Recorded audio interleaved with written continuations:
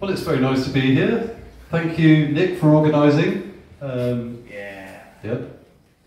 And um, thanks to Dan for that wonderful first set, which I really enjoyed. He's, he's gone off to the green room, I think, to recuperate. Uh, like him, I'm starting in, uh, for all you guitarists out there, and I know at least half of you are guitarists, uh, I'm starting like Dan in DADGAD.